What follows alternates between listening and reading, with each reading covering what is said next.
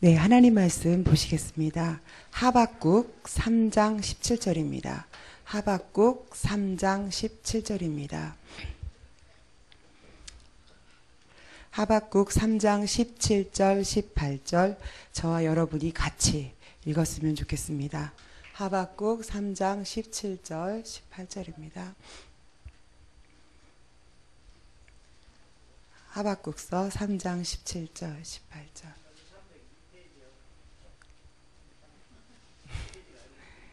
네. 네, 다 같이 읽겠습니다. 비록 무화과 나무가 무성하지 못하며 포도나무에 열매가 없으며 감람나무에 소출이 없으며 밭에 먹을 것이 없으며 우리의 양이 없으며 외양간에 소가 없을지라도 나는 여호와로 말미암아 즐거워하며 나의 구원의 하나님으로 말미암아 기뻐하리로다. 아멘. 예, 지금 어, 무화과 나무가 무성하지 못하고 포도나무에 열매가 없고 감람나무에 소출이 없고 밭에 먹을 것이 없고 우리의 양이 없고 외양간에 소가 없는데 여호와로 말미암아 기뻐하고 즐거워한다는 이제 말씀이고 기도인데요. 이런 기도를 어떤 기도라고 할까요? 아무도 못 말리는 세상이 못 말리는 그런 기도입니다. 이런 사람을 누가 이길 수 있을까요? 아무도 이길 수 없고 어, 그런 건데요. 정말 이렇게 되기를 간절히 원하는 마음으로 이 본문을 잡았고요. 제가 오늘 여러분 앞에 간증하고자 하는 내용이 팔미션 속에서 누리는 재창조의 응답입니다.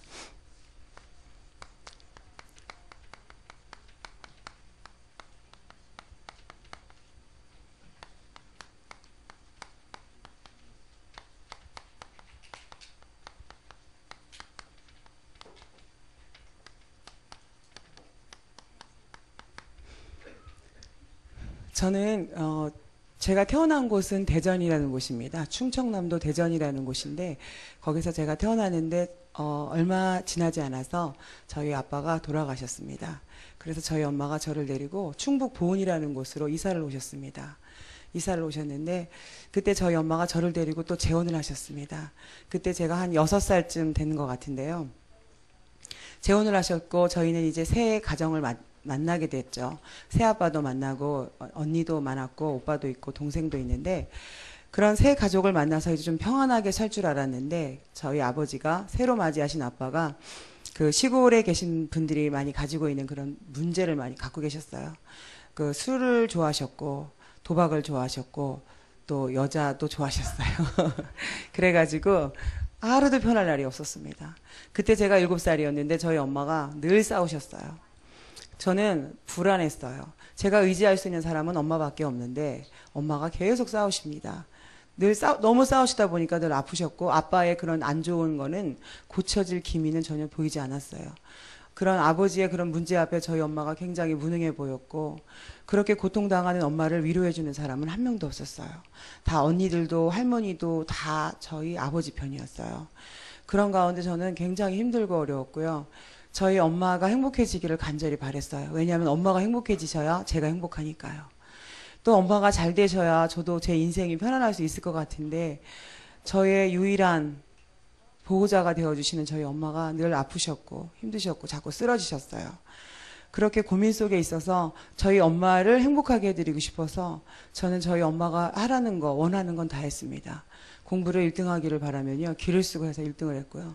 반장도 했고 회장도 하고 뭐 저희 엄마가 원하시는 것들을 열심히 했는데 저희 엄마는 행복해지시기는커녕 점점 더 아프셨어요. 자꾸 쓰러지셨죠.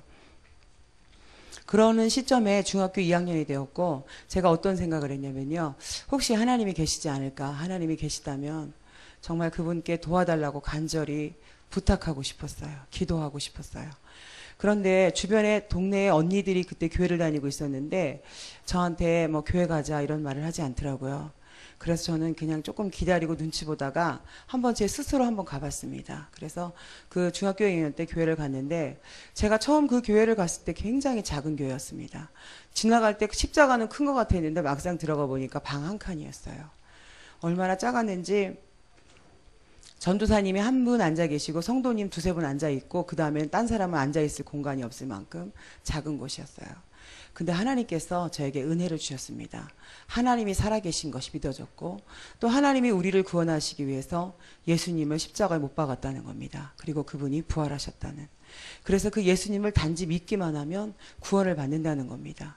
저는 그 말씀이 믿어졌어요. 그래서 아, 나는 정말 하나님의 자녀가 되었구나. 하나님은 정말 살아계시구나 라는 확신을 갖게 됐어요.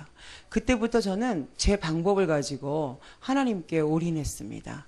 하나님이 나에게 축복하시고 나에게 응답하시고 나에게 역사해 주시기를 갈망하는 마음으로 하나님이 원하신다고 생각되는 것들을 순종했습니다. 그건 뭐냐면 중학교 2학년 때 교회를 나왔는데도 불구하고 하나님께 잘 보이고 싶어서 하나님이 저를 보고 감동을 받고 응답해 주시기를 원하셔서 원하는 마음에 모든 예배를 다 참석했습니다. 새벽 예배도 금요일도 수요일도 다 참석했고 교회에서 하는 모든 것들은 다 참석했어요. 그러면 왠지 하나님이 기뻐하실 것 같았어요. 그렇게 점점 예배를 참석하고 말씀을 듣고 은혜를 받는 것 같았는데 확신은 생기는데 제 삶은 하나도 나아지지 않았어요. 여전히 가정 생활은 힘들고 어려웠습니다. 그리고 이제 또 직장 생활도 하게 되었고 결혼도 하게 되었고 점점 여러 가지 삶의 변화가 있었지만 저에게 응답이라고 생각되는 건 없었어요. 그런 와중에 성경에 보면 요셉이 나오죠. 하나님이 형통케 하셔서 총리가 됩니다. 남의 나라에 노예로 팔려고 왔는데 총리가 됩니다. 기가 막히죠. 성경에 보면 많은 우리 신앙의 선배들이 큰 응답과 기적과 능력을 체험하는 것들을 말씀을 통해서 들었는데 그런 동일한 역사가 제게 없었어요. 저는 이상했습니다. 그래서 더 열심히 했어요. 열심히 하니까 교회에서 더 많은 일들을 맡게 됐어요. 처음에는 제가 교회에서 중고등 주일학교 교사를 했습니다. 중3 때 주일학교 교사를 했고요. 또 있다가 중고등부 교사를 했습니다. 또 교회 차량운행 봉사도 했어요.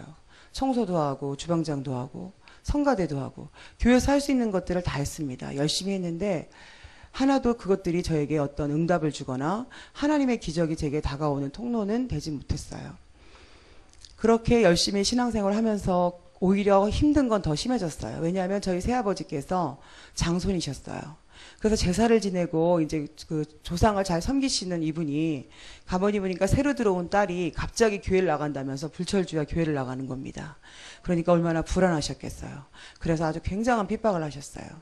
그런데도 저는 확신이 있었기 때문에 하나님이 축복하시면 끝난다는 그런 막연한 기대감을 가지고 열심히 교회를 다니고 있었고요. 그런 와중에 저희 목사님께서 이제 저희 교단에 저희 교단에 이제 그 믿음이 좋다는 그 목회자 가정의 그 셋째 아들을 소개시켜 주셨어요. 그래가지고 저는 가족들이 반대를 많이 했지만 그냥 하나님의 뜻이라고 생각하고 결혼을 했어요. 분명히 목회자 가정의 또 모태신앙의 그런 집안의 셋째 아들이니까 믿음이 좋겠지. 이렇게 생각하고 나보다 훨씬 좋을 거야. 나는 이렇게 사는 게 힘들고 어려운데 저 사람은 믿음이 좋겠지 생각하고 결혼을 했어요. 몇 번 만나지도 않고 하나님의 뜻이면 다 된다 생각하고 결혼을 했는데 신혼여행 가가지고 깜짝 놀랐어요. 그전에 잘 보이지 않았던 것들이 신혼여행을 가면서 보이는 겁니다. 아, 나 결혼 잘못했다라는 생각이 불안감이 굉장히 몰려왔어요. 그러면서 야, 이 사람 믿음 좋은 줄 알았더니 완전히 날라리구나. 제가 그런 생각했고요. 저희 남편도 저를 보고 그런 생각했다고 그랬어요. 결혼 잘못한 거 아닌가? 이거 완전 광신도구나, 광신도.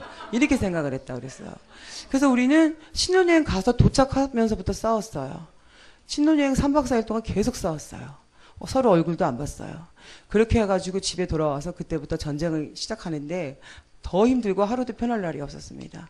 그렇게 어려운 중에 또 제가 뜻하지 않게 아까 저희 목사님도 잠깐 말씀하셨지만 어린이집에 이제 도와준다는 명목 아래 들어가게 된 겁니다.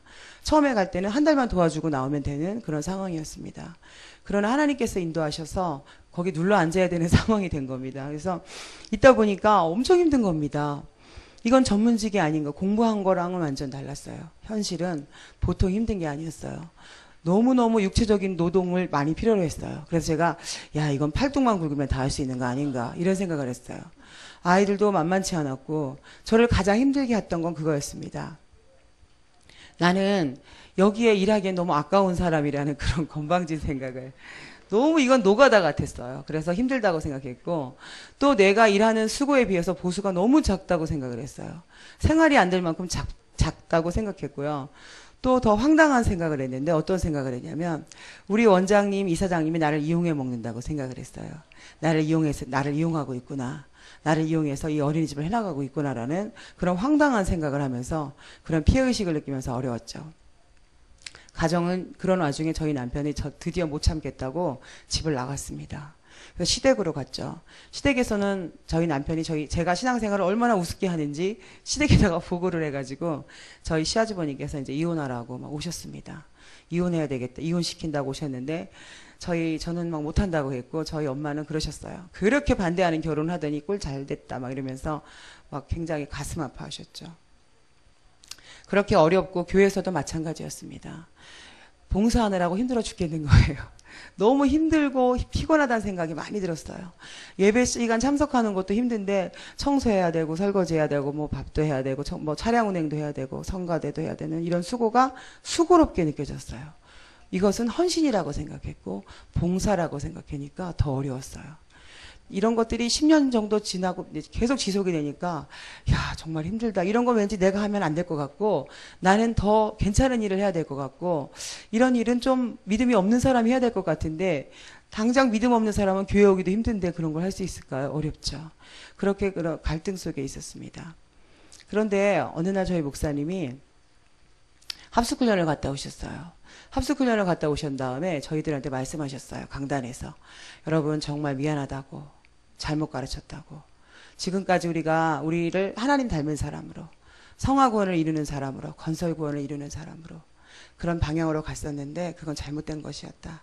정말 복음을 전하는 복음 전파, 세계 복음화, 지역 복음화, 민족 복음화, 세계 복음화를 향해서 간다는 겁니다. 저는 목사님이 그런 광고를 진지하게 하셨을 때 하나도 은혜가 안 됐어요.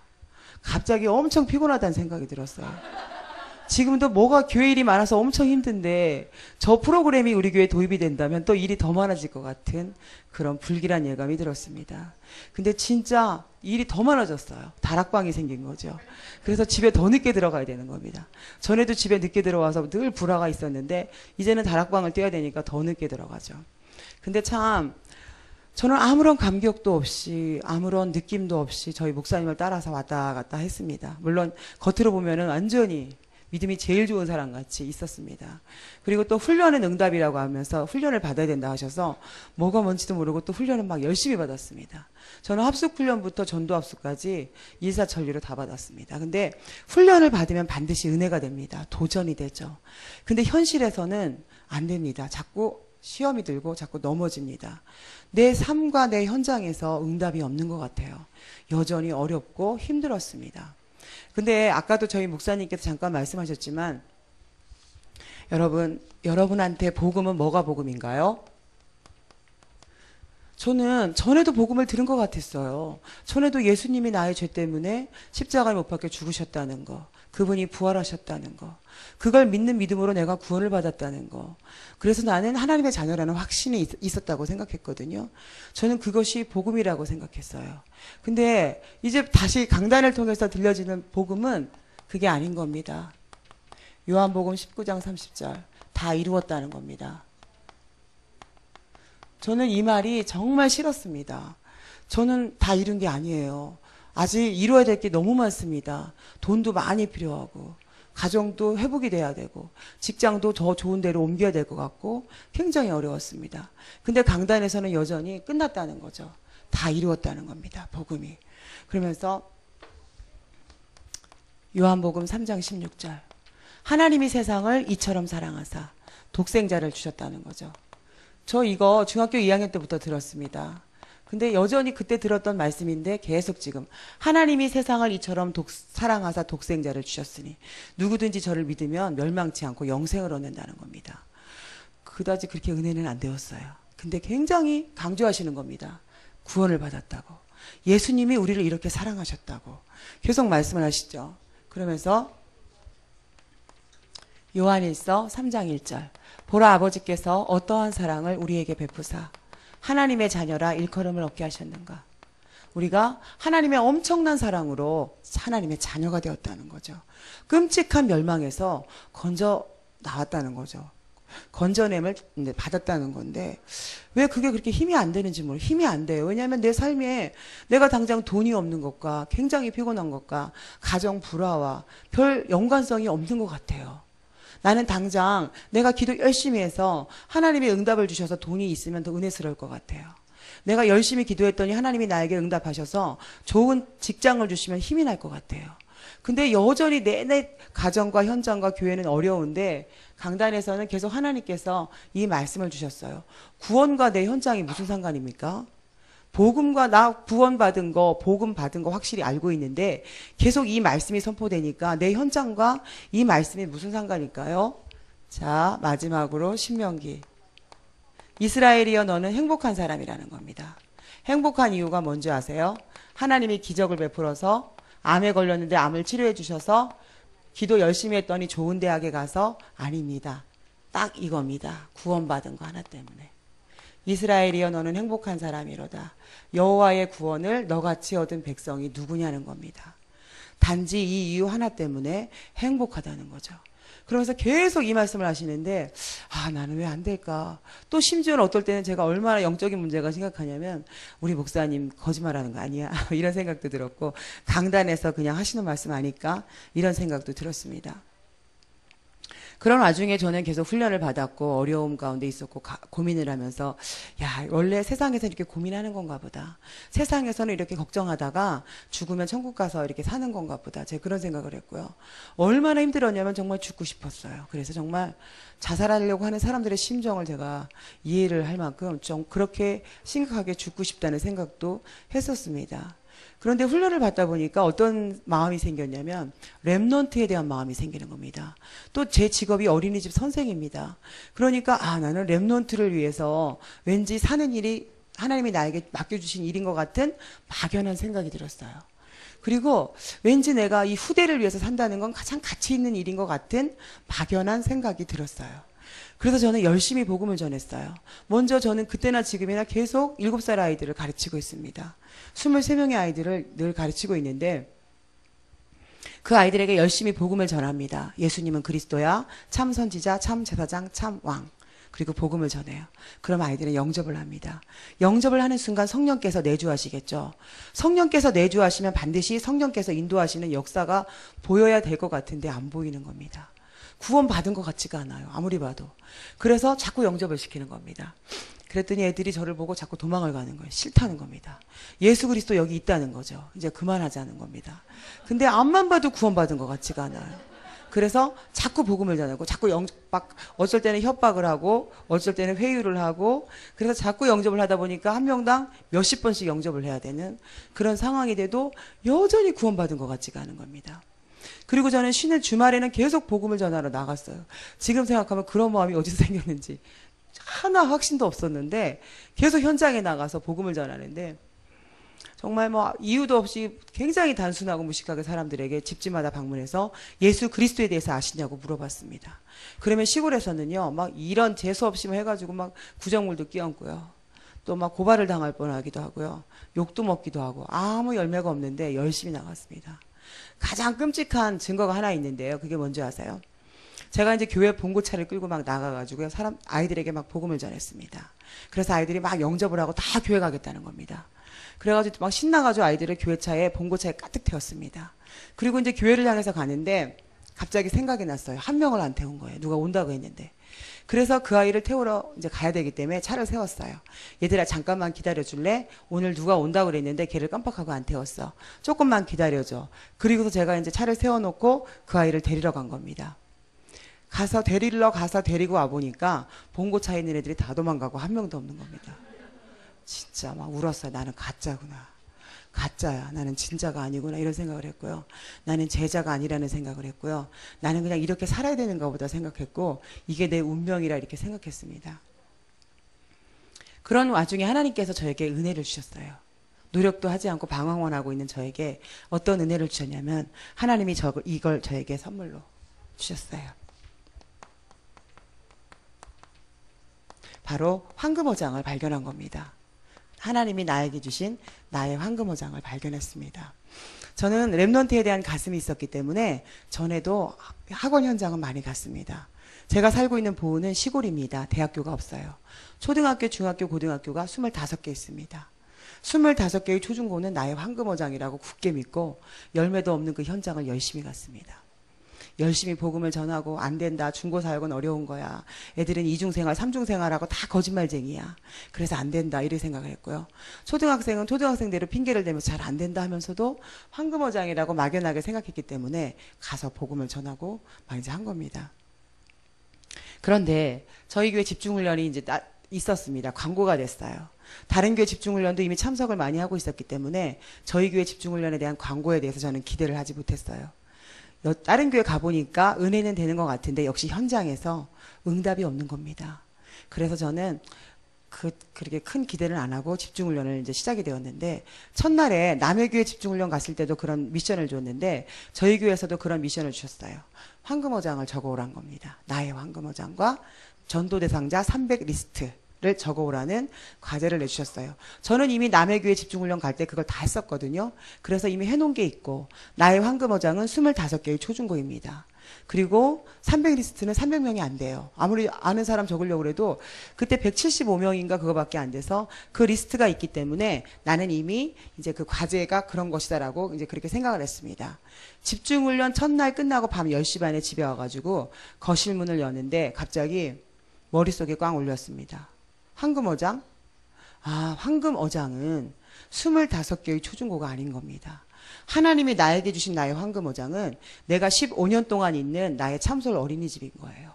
70명의 원화가 있고 그 배경으로 140명의 가족이 있는 참솔 어린이집인 겁니다. 근데 나는 그 황금어장을 놔두고요. 저쪽이 황금어장이라고 막 왔다 갔다 한 겁니다. 오랜 세월. 근데 그게 깨달아진 겁니다. 근데 제가 얼마나 기쁘고 감사했는지 너무너무 기뻤어요. 너무너무 감격스러웠어요. 제가 300 리스트를 적는데 해마다 23명씩 졸업시켰다고 생각해 보세요. 15년 동안. 또 70명의 원아를 주임교사로서 관리하고 있었다고 생각해 보세요. 저의 300 리스트가 몇 명이나 될까요? 어마어마한 거죠. 그렇게 제가 밤이 새도록 그 리스트 명단을 작성했는데 작년에 졸업한 아이, 재작년에 졸업한 아이를 쉽게 적을 수 있었어요. 왜 그런고 하니 1년마다 교사 수첩을 한 권씩 작성을 하죠. 교사 수첩에는 아이들의 그 생활 기록부가 다 이제 내재되어 있기 때문에 아이들의 명단과 주소와 신상 명세가 다 기록되어 있습니다.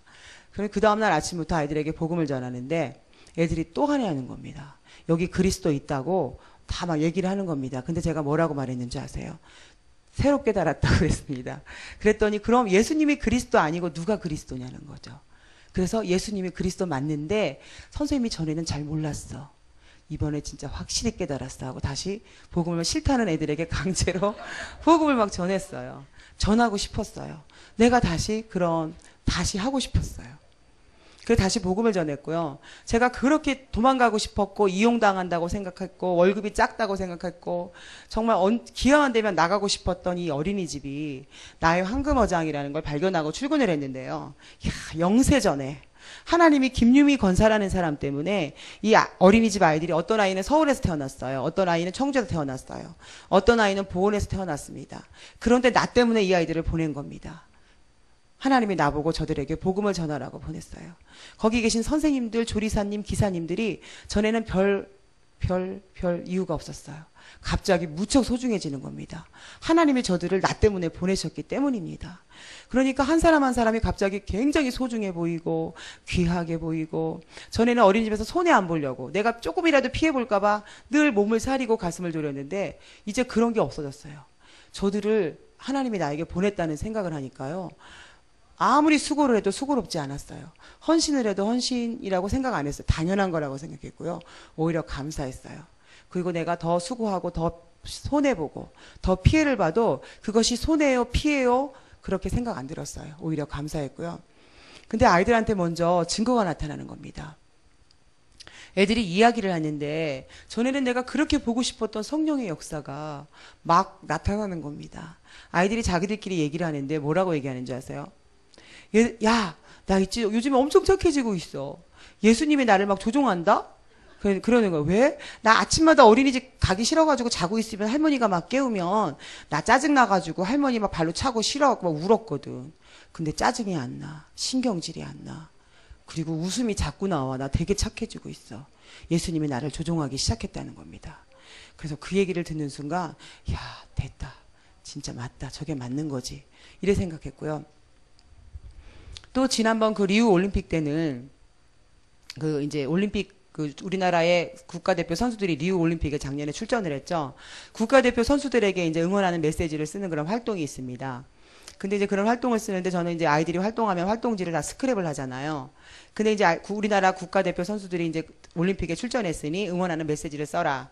뭐 그림으로 그리고 이제 이렇게 꾸며라 이게 활동을 해야 됩니다. 그런데 아이들이 막 우리나라 국가대표 선수 화이팅 힘내세요 사랑해요 금메달 따신 거 축하합니다. 뭐 이렇게 이제 쓰, 썼죠. 근데 제가 활동지를 이렇게 넘겨보다가 깜짝 놀랐습니다. 뭐라고 썼는 줄 알아요? 말풍선을 이렇게 해놓고 예수는 그리스도 금메달을 따도 예수를 그- 예수 그리스도를 알지 못하면 지옥 갑니다. 뭐 이렇게 써놓고요. 또 금메달보다 더 중요한 건 예수 그리스도 복음 아세요? 이렇게 써 있고요.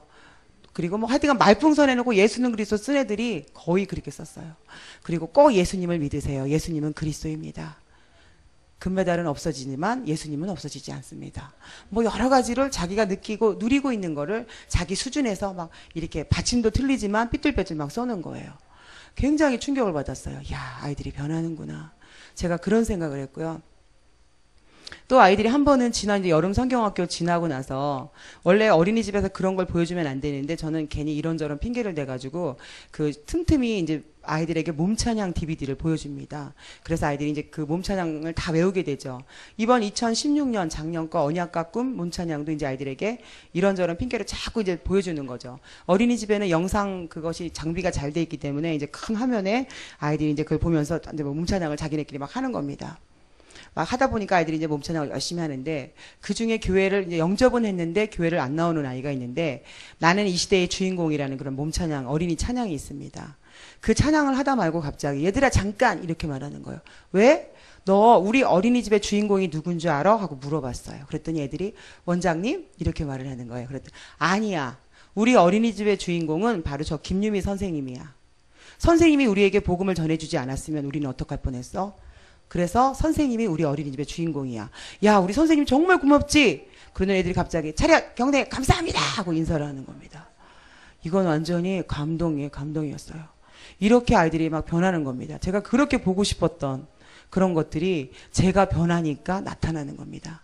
그래서 저는 이 황금어장을 보면서 하- 이걸 깨달으면서요, 제가 바로 뭐를 깨달았냐면 내가 누구냐는 겁니다. 이 정체성에 관한 말씀을 신학원에서 엄청 듣습니다. 나는 누구냐는 겁니다. 나는 전도자죠. 나는 하나님의 자녀입니다. 만 번도 더 들었습니다. 그런데 황금 어장 발견하고 나니까 내가 누구냐는 겁니다. 누가 뭐래도 나는 전도자인 겁니다. 전도자의 기준이 있겠죠. 거기다가 저를 부합하면 저는 바로 탈락일 겁니다. 그런데 제, 저는 전도자입니다. 왜 전도자인 줄 아세요? 이게 있잖아요.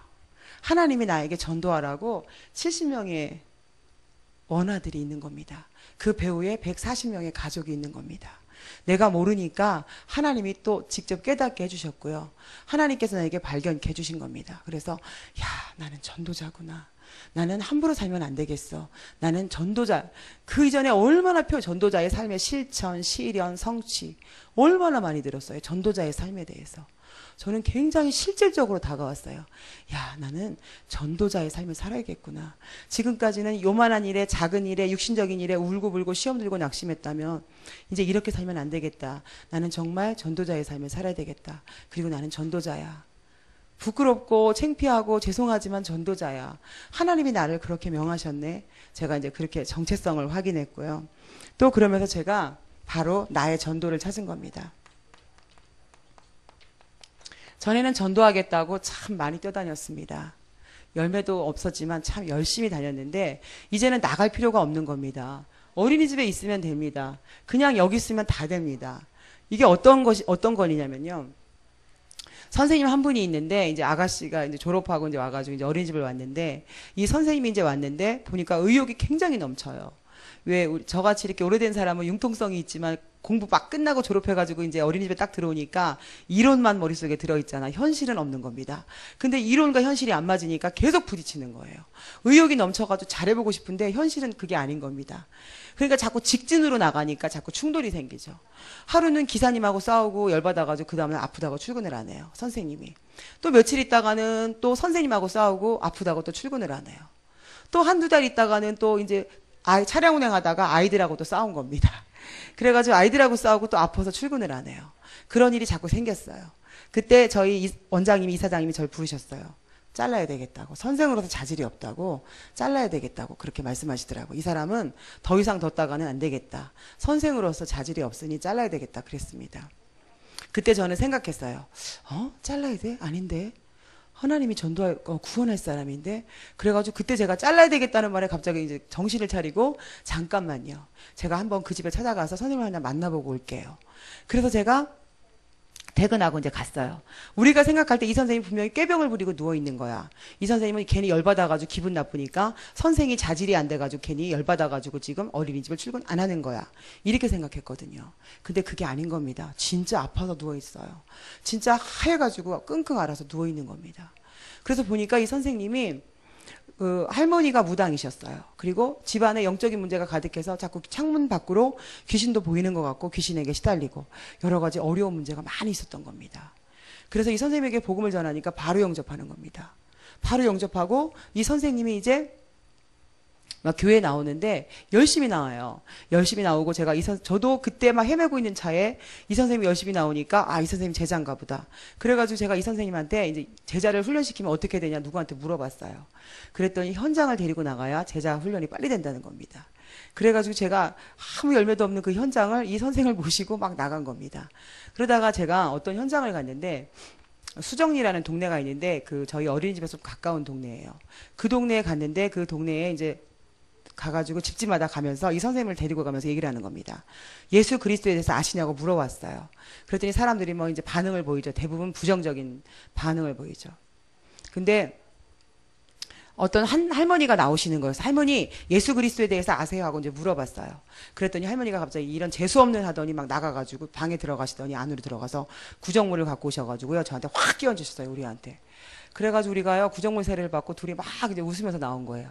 그래가지고 이제 둘이 목욕탕을 가다 막 웃고 이랬어요. 이렇게 이 선생님이 이렇게 이렇게 아무 열매가 없는 이런 현장 속에서도 열심히 따라다니면서 그러는 겁니다. 그래도 이 선생님이 이제 한, 한참 있다가 이제 몇 년이 됐어요. 그런 와중에 이 선생님이 그래요. 선생님 나 결혼을 해야 되는데 선생님은 나보고 믿는 사람하고 결혼을 하라고 그랬는데 믿는 사람은 없고 두 남자가 자기를 따라다닌다는 거죠. 그런데 어떻게 하면 하나님의 뜻인가 물어보는 겁니다. 그러면 이렇게 하면 어떻겠냐. 결혼하기 전에 그 사람이 한 사람은 광주 사람이에요. 아주 목포 사람이에요. 한 사람은 서울 사람이에요.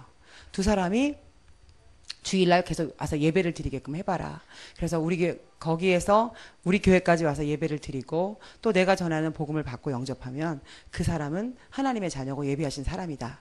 그러니까 그렇게 둘이에게 두 남자에게 미션을 준 거예요. 그랬더니 한 남자가 바로 포기를 하고 한 남자가 그 미션을 수행을 완료를 한 겁니다. 그래가지고 결혼을 했어요. 그래가지고 남편 직장을 따라서 이사를 갔어요. 이사를 갔는데도 여전히 지금까지도 계속 말씀을 듣는 저보다 더 말씀에 대해 궁금해하고요. 말씀을 이제 물어보고 막 하는 겁니다. 그래서 이번에 또 이사를 갔어요. 이사를 갔는데 선생님이 그러는 거예요. 선생님, 지금 이제 아파트, 좋은 아파트로 이사를 갔는데 거기에 사람들이 이제 관리비 같은 걸 잘 안 내가지고 통제가 안 되고 막 어려움이 많은데 아무래도 하나님이 나한테 총무를 하라고 그래가지고 이 아파트를 살리고 복음하라고 말씀 운동에 장을 열으라고 하는 게 아닌가 그런 생각이 드는데 어떠냐는 거죠. 어, 그거 좋은 생각인 것 같다 해가지고 이제 또 같이 기도하면서 지금 총무를 하고 있어요. 그러면서 진짜 사람들의 영적인 문제가 얼마나 심각한가 체험하면서 같이 기도해달라고 하고 우리가 계속 밤마다 이제 기도 제목을 나눕니다. 전도. 이제 나갈 필요가 없는 겁니다. 어린이집에서 있는 겁니다. 그래서 저는 여기서 이렇게 나의 전도를 찾으면서 제가 또 세 번째 발견한 게 이겁니다. 제가 가장 악망하고 부러워했습니다. 그런데 나는 할 수 없다라고 확신한 게 있었는데 세계보고마입니다. 세계보고마는 해- 멀리 나가서 어려운 지역에서 열심히 복음을 전하는 그 많은 선교사님들이 계시죠. 그 선교사님들을 뵐 때마다 가슴이 울컥하고 물- 뭉클합니다. 이번 선교대회에서도 우리가 작년에도 그랬고 올해도 아무도 할 수 없는 것들 그 현장에서 이제 복음을 전하고 계신데 어느 날 제가 계속 내 현장에서 이 황금어장이라는 가치, 비밀을 깨닫고 어린이집에서 보급을 누리면서 전도를 해보, 해보다 보니까 이 깨달음이 오는 겁니다. 아, 내가 지금 세계복음하고 있구나. 내가 사역하는 랩런트들, 내가 사역하는 현장, 내가 수고하는 이 일이 바로 하나님이 김유미 권사에게 주신 세계복음화인 겁니다. 내가 이거 안 하면 세계복음화 절대 안 됩니다. 내가 살고 있는 보은 지역에서 아무도 알아주지 않는 작은 일입니다. 아무도 인정해주지 않고 칭찬해주지 않는 작은 다락방이고 현장이고 사역인데 이 작은 사역과 한 사람을 상대하는 그런 모든 일들이 바로 하나님이 나에게 주신 나의 세계복음화인 겁니다. 아, 그러니까 갑자기 내가 하는 모든 일이 또 막 다 소중해지는 겁니다. 너무 감사하고 감격스러운 겁니다. 그러니까 전에는 힘들었다고 생각하고 이건 수고라고 생각했고 헌신이라고 생각했고 봉사라고 생각했는데 그게 아닌 겁니다. 하나님이 나에게 주신 가장 축복된 나의 세계 복음화인 겁니다. 그러니까 전에는 조금 이렇게 봐가지고 외관상으로나 직업적으로나 배경적으로나 볼품이 없는 사람이 다락방을 요구하고 이렇게 하면은 조금 딴 사람한테 인계하고 싶고 또 이런저런 핑계로 왠지 계속 지속하기 힘들 것 같은데 이걸 깨달으니까 아무리 배경이 없어도 배움이 없어도 볼품이 없어도 장애를 가지고 있어도 아무 소용이 없어요. 너무너무 이 사람이 지금 말기암에 걸려가지고 죽어가서 더 이상 갈 가치가 없는 것 같은데도 그것이 바로 나의 세계보고마인 겁니다. 하나님이 나에게 맡겨주신 거기 때문에 내가 이거 안 하면 세계보고만 안 이루어진다는 확신, 비밀, 제가 그걸 발견한 거예요. 그러니까 와, 너무 감사하고 행복한 겁니다. 시골에서 배운 것도 없습니다. 능력도 없고 돈도 없습니다. 이런 내가 세계 보고 말하는 하나님의 언약, 하나님의 소원 한 부분을 작은 부분을 이렇게 붙잡고 있는 겁니다. 그 감격이란 그 감사란 정말 뭐 어떻게 할 수가 없는 거죠. 그러니까 갑자기 제가 하고 있는 일에 대한 저희 가족에 대한 교회에 대한 목회자에 대한 우리 동네 사람에 대한 같이 살고 있는 주변 사람들에 대한 그 비밀 하나님의 계획 그런 것들이 보이기 시작했어요. 그러면서 제가 너무너무 감사했고요. 그러니까 이제 이것이 또 어떻게 될까요? 전도 문도 되는 겁니다. 저는 이번에도 저희 어, 지역에 그 이제 산업단지 큰 게 인천에서 이사를 왔어요. 그래서 아파트 단지가 이사 오고 많은 사람들이 이사를 왔기 때문에 보은 지역에는 아주 긴장을 하고 보은 군에서도 거기다가 모든 걸 집중하고 있습니다. 왜냐하면 시골에서 지금 산업단지가 이사를 왔고 많은 사람들이 이주해 왔어요. 사원 아파트를 짓고 많은 사람들이 이주해 왔기 때문에 모든 교회가 어린이집이 학교가 학원이 거기 막 이목을 집중시키고 있어요. 왜냐하면 이제 모집을 해올 수 있는 한마디로 말하면 황금어장인 겁니다. 거기도. 그래서 막 집중을 하고 있고 저희 어린이집에서도 마찬가지 입니다. 그래서 저희 어린이집에도 여덟 명의 아이들이 다니고 있는데 어느 날 문제가 생겼어요. 네살 반에 있는 아이가 이제 문제가 생겼는데 어떤 문제가 생겼냐면 이 아이가 이제 어느 날 자다가 일어나서 갑자기 자기 팬티를 쑥 내렸어요. 그런데 엄마가 말을 했어요. 팬티를 내렸으면 보통은 이렇게 말해야 됩니다. 왜? 가렵니? 어디가 아파? 이렇게 물어보면 좋잖아요. 근데 이 엄마는 대뜸 물어보기를 왜? 누가 만졌어, 거기를? 이렇게 물어본 거예요. 그러니까 얘가, 응, 이렇게 한 거예요. 원래 사세는 단답형 대답밖에 못 합니다. 응, 아니면 싫어. 그 정도밖에 말 못하거든요. 누가 만졌어? 그러니까 응 그런 겁니다. 그러니까 또 이분이 대뜸 한다는 게 저희 어린이집 기사님 남자 기사님 두 분 사진을 딱 보여주면 누가 만졌어? 그러니까 얘가 또이 아저씨 또 얘기를 한 거예요. 졸지에 이제 성추행 사건이 생겼다고 판단을 하시고요. 얼마나 이분들이 영적인 문제가 심각하시냐면요. 그 얘기를 듣자마자 밤새도록 부부가 벌벌 떨면서 울은 거예요. 어떻게 네 살짜리 아이한테 이런 일을 할 수 있을까? 어떻게 이런 사고를 칠 수 있을까? 막 이렇게 생각을 하시고요. 내일 눈 뜨자마자 어린이집에 가가지고 따져야 되겠다. 이분들이 얼마나 원디스가 잘 되냐면요. 여덟 가정이 나오잖아요. 이분들은 출근도 안 하나 그 사건을 다 얘기를 한 거예요 아침에. 그래가지고 여덟 가정이 부부 동 부부 이렇게 부부 동반을 해가지고 다 어린이집에 쳐들어온 거예요. 그래가지고 사무실에 막 난리가 난 겁니다, 지금. 막 난리가 났어요. 얼마나 떠들고 시끄러운지 이제 안에서 난리가 났고, 이렇게 지나가면서 언뜻언뜻 보니까 막 저희 원장님도 막 울고 계시고, 또 이사장님도 막 이제 막 얼굴이 파게가지고 막 흥분해 계시고, 이 사람들은 막 굉장히 위협적인 자세로 막 하고 있는 거예요. 보니까 어떤 아빠는 막 위통을 확 벗어 던지는데 막 문신한 몸을 막 보여주는 것 같아요. 분위기가 딱 그렇더라고요. 근데 내가 이제 아이들이 어린이집을 다 끝났어요. 집에 가야 돼요. 차량 운행도 해야 되는데 아직 그 안에서는 사무실에서는 일이 해결이 안 됐어요. 그때 저는 생각했어요. 아, 어떻게 해야 되지? 하나님 어떻게 해야 되지? 하고 이제 하나님께 계속 여쭤보고 있는 거예요. 아, 어떻게 해야 되나? 저렇게 막 시끄럽고 어지러운 상태에서 어떻게 해야 되나? 이제 그러고 있는데 저희 선생님이 그래요. 선생님, 선생님이 들어가셔야만 해결이 되지 않을까요? 선생님 한번 들어가 보세요. 빨리. 이제 이러는 겁니다. 그래서 아, 글쎄 한번 들어가 볼까 하고 저는 이제 그냥 들어가 봤어요. 딱 들어가 보니까 이제 분위기가 딱 밖에서 본 것처럼 똑같죠. 저희 원장님도 이제 막 이제 울고 계시고 그런 환경이고 그 사람들은 막 소리를 지르고 이제 그러고 있는 환경인데 갑자기 제가 딱 들어가니까 저희 원장님이 그러시네요. 여러분 조용히 하라고 잠깐 있어 보라고. 우리 선생님이 여러분에게 할 말이 있으시다는 거예요. 그래서 깜짝 놀랐어요. 내가 할 말이 뭐가 있을까? 순간적으로 생각해 담임도 아닌데. 그래서 갑자기 이제 제가 이랬어요. 하나님께 기도했죠. 분명히 이제 하나님 만드신 환경이잖아요. 저는 늘 제 마음속에 이게 있는 겁니다. 지금 어린이집에서 문제가 생겼죠. 하나님은 이 계획을 가지고 계신 겁니다. 저는 세- 순간적으로 아 하나님께서 하시겠구나. 우리 또 그러니까 갑자기 조용한 거예요. 떠들다가. 그러니까 갑자기 제가 또 이- 우뚝 일어서야 되는 거예요. 말을 해야 되기 때문에. 그래가지고 일어났어요. 근데 하나님께서요 저에게 말씀을 주시는데요. 놀랐습니다. 저는 제가 말하면서 제 말에 제가 막 은혜를 받았어요. 제가 뭐라고 말을 하냐면요. 여러분, 우리 어린이집은 일반 어린이집과 다릅니다. 우리 어린이집은 아이들을 정말 치유하고 도와주는 어린이집입니다. 그 이유가 뭔지 아세요? 우리 어린이집은 일요일 날도 어린이집을 합니다. 우리는 10년이 넘도록 지금 일요일 날도 어린이집을 운영합니다.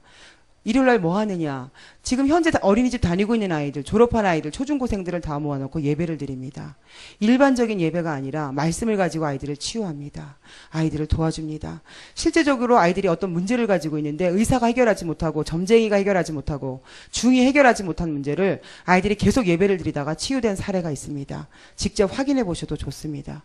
저희들도 여러분처럼 일요일 날 나가서 놀고 싶고 놀러 가고 싶고 쉬고 싶은데 저희들은 그렇게 안 합니다. 저희는 평생 동안 이 일을 할 겁니다. 그래서 평일에는 어린이집을 하고 일요일 날에는 아이들을 모아서 예배를 드리는 우리는 일요일 날도 안 쉽니다. 이런 사명감이 있는 우리 어린이집에서 무슨 성추행 말도 안 됩니다. 그런 일은 생긴 게 아닙니다. 아이들은 다 누구나 영적인 문제를 가지고 있습니다. 부모님은 모르십니다. 부모님들은 다 자기 아이가 제일 똑똑한 줄 알고 제일 착한 줄 압니다. 그래서 부모님들이 자기 자식 자랑을 하면요. 우린 다 웃어요. 왜냐하면 웃을 수밖에 없습니다. 자기 자식에 대해서 자기 손녀를 정확하게 바라보지 못합니다. 근데 우리는 그 이유를 알고 있고 그 문제를 보고 있기 때문에 그 아이들을 치유하려고 정말 도와주려고 그 어떤 세상의 이론도 지식도 아이들의 이런 문제를 치료해 줄 수 없습니다. 아이들의 문제는 어디서 왔는지 아세요? 부모님들께 왔습니다. 그럼 부모님들의 문제는 어디서 왔을까요? 그 전 부모님, 할아버지, 외할아버지, 증조할아버지, 그럼 인간의 문제는 어디서 왔을까요? 창세기 3장에서 왔습니다. 그러다 보니까 자연적으로 복음을 전해야 되는 겁니다. 그래가지고 이제 복음을 전하게 됐어요. 복음을 전하다 보니까 또 영접을 하셔야 되는 거예요. 그러니까 얼떨결에 또 영접까지 가야 되는 그런 상황이 돼서 참 제가 하면서도 좀 재밌는 거예요. 왜냐면 영접시키러 들어간 건 아니잖아요, 저는. 빨리 하원시켜야 돼가지고 들어갔는데 상황은 하나님께서 그렇게 인도하셨죠. 그래서 저는 영접 기도문을 따라 하시라고 해서 영접 기도문을 제가 먼저 했어요. 그랬더니 이분이 이분들이 다 영접을 하셨어요. 그리고 나서 갑자기 막 와 하고 박수를 치시는 거예요. 영접하고 나서 이렇게 박수 치시는 분들은 또 처음 봤어요. 그러면서 정말 감동이었다고. 참 선생님 같은 분을 만난 게 행운이라고 감사하다고 막 그렇게 말씀하셨어요. 그러면서 야, 우리 아이가 우리 문제, 우리 아이 이런 걸 어떻게 하면 좋겠냐고. 그럼 아이들을 어린이집 교회에 보내라. 이제 우리가 물론 지교회로 이제 임명을 받았지만 그렇게 보내라고 이제 그랬어요. 근데 내가 또 놀란 거는 그 부모님들 중에 반 정도가요. 기존 교회의 중직자인 겁니다. 그 중에 어떻게 그 사, 사건 하나를 놓고 똑바로 볼 수가 없는, 보지 못하고 그렇게 오판하는 속으로 같이 휩쓸려 가지고 그렇게 왔을까요? 그쵸? 너무 마음이 아프더라고요. 권사이면서, 장로이면서, 안수집사이면서 그 작은 사건 하나 속에 있는 그걸 영적인 사실을 보지 못하고요. 그들이 이 복음을 모르니까요. 복음을 모르면 그렇게 돼요. 종교 생활하는 건 똑같거든요. 영적인 사실을 못 보니까 성추행 사건으로 다 몰아가는 겁니다. 단지 네 살짜리 아이의 말만 듣고 그렇게 이제 몰아가게 돼서 오해는 풀린 거죠. 그러면서 전 다락방 문이 열렸죠. 그리고 이제 아이들이 교회로 인도되는 그런 일들이 생겼습니다. 이렇게 전도는 황금어장이라는 그런 걸 발견하게 되면서 제가 그렇게 됐고 사실은 그 이전에는 바로 이거겠죠. 제가 계속 복음만 말하는 목사님을 만나서 계속 내 의지와 상관없이 계속 복음을 듣다 보니까 하나님께서 시간표를 따라서 저에게 이 깨달음을 이제 얻게 하신 거죠. 그러면서 저는 이 황금어장을 계속 발견하면서 떡떡 더불어 되는 게 바로 삼오늘입니다. 제가 전에도 삼오늘 계속 했습니다. 근데 이 삼오늘 할 때 좀 재미가 없어요. 뭔가 해야 될 이유를 정확히 오늘의 말씀, 오늘의 기도, 오늘의 전도가 말씀이 왠지 재미가 없는 것 같아요. 그리고 왜 해야 되는지 잘 모르겠어요. 이미 새벽 기도 가서 은혜 받고 하는데 그걸 왜 해야 되는지 모릅니다. 근데 하나님께서요. 스케줄 스케줄을 적으라고 하더라고요. 제가 처음에는 몇 년 동안은 열심히 똑같은 스케줄인데 적어봤어요. 4시 30분 새벽 기도, 8시 출근, 오전에 특별 활동합니다. 5시 반에 퇴근합니다. 다락방 두 군데 어떤 날 뭐 이렇게 해가지고 그리고 집에 가는 스케줄 늘 똑같습니다. 근데 이 스케줄을 적으면 무슨 생각이 나냐면요. 어? 내일 10시에 아동학대 예방 교육 하는구나. 그러면 그 강사님이 오시겠네. 그 강사님한테 어떤 전도 자료를 줄까? 이런 생각이 잠깐 드는 거예요. 그 생각이 드는 시간은 몇 분 안 돼요. 그러면 작년에도 그 선생님이 오셨고 재작년에도 그 선생님이 오셨고 3년 전에도 오셨던 그분이 이제 또 오시네. 오시면 이번에 또 오시면 그분한테 어떤 자료를 줄까? 작년에도 줬고 재작년에도 줬는데 올해는 어떤 전도 자료를 줄 것인가? 그래 가지고 나름대로 그분이 보니까 외로워 보였어. 좀 약해 보이고 뭔가 우울한 느낌이 있었어. 그러면 그분 얼굴을 떠올리면서 잠깐 전도 자료를 준비해서 봉투에 담았어요. 그리고 아침에 출근해서 정말 10시에 스케줄에 적혀 있는 대로 오전 10시에 아동 학대 예방 교육이 있고 그분이 어젯밤에 잠깐 생각했는데 그분이 오셨어요. 근데 그분이 오셔가지고 이제 아이들한테 말을 했어요. 얘들아, 이 세상에서 가장 소중한 게 뭐니? 하고 물어봤어요. 그런데 애들이 뭐라고 말했는지 아세요? 예수 그리스도요라고 말했어요.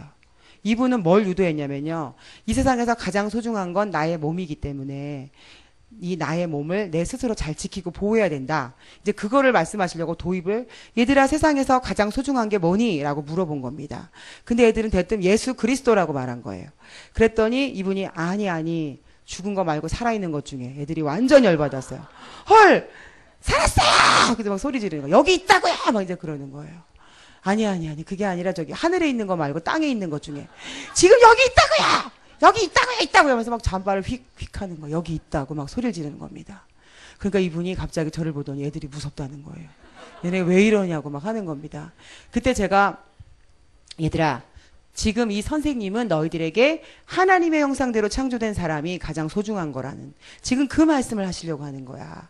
그러니까 너희들은 잘 들어야 돼. 이제 그렇게 아이들을 진정시켰어요. 그래서 그 선생님이 아이들에게 수업을 하시는 동안에 제가 생각했어요. 난 바보다. 멍청이. 나는 오늘도 그분에게 여지없이 전도자료 한 번 주고 끝내려고 그랬거든요. 그리고 어린이집 하루 스케줄 속에 복음 전할 여유가 그렇게 많지 않아요. 저는 오늘도 작년에 와셨던 그분에게 오늘도 그냥 그분에게 전도 자료 하나 주려고 그랬는데 내가 복음 전할 생각이 없으니까요. 아이들이 예수는 그리스도라고 막 외치는 겁니다. 그래서 제가 아, 내가 복음을 전하지 않으니까 이렇구나. 그래서 이제 그 선생님 수업 끝나고 나서 그 선생님에게 막 복음을 전했어요.